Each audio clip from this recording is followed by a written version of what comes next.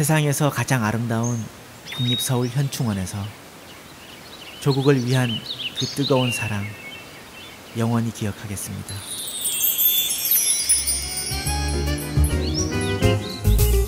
세상에서 가장 아름다운 국립서울 현충원 조국을 위한 뜨거운 사랑 기억합니다.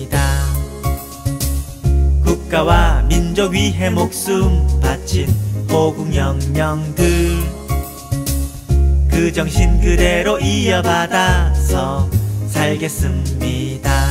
나라 사랑 그 마음을 닮아 그 사랑을 닮아. 우리 모두 함께 언제나 나라 사랑 약속해요 우리가 지금 누리고 있는 자유와 행복.